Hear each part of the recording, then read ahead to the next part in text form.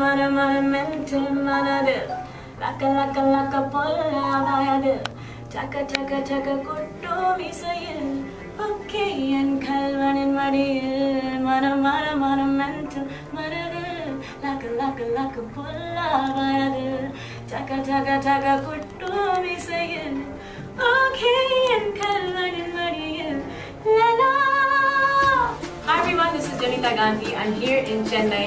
I'm super excited because I'm performing at Forum Vijaya Mall. And it's going to be a lot of fun performing a lot of the songs that I've sung in Hindi and in Tamil, I'm also performing English songs and lots of mashups.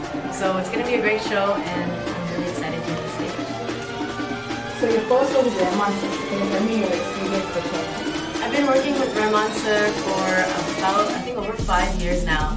And I feel very blessed that um, I met him along my journey quite soon in my career. Um, always my dream to work with him and to sing for him. And I'm, I'm feeling really blessed that I get to perform with him also on stage on his concerts. And thanks to him, I was introduced to the world of Tamil music in Kollywood. And so, um, yeah, and, and it's always such a pleasure to work with him because I learned so much in every session. How about Anirudh? Yes, so I've now been working with Anirudh for uh, well from uh, Coco.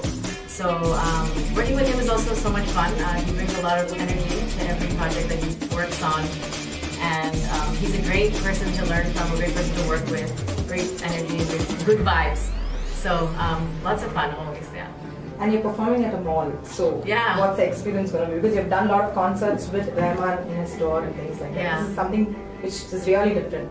So I've how exactly? at, I think I have performed at a couple of malls before. Um, it's always a different experience because, of course, when you're in those stadiums, it's there's like a lot more people, and I think in a mall it's going to be a lot more personal. So it's gonna it's gonna be exciting. I get to see everybody's faces actually for a change, and it'll be more interactive. So that's what I'm looking forward. to. Thank you.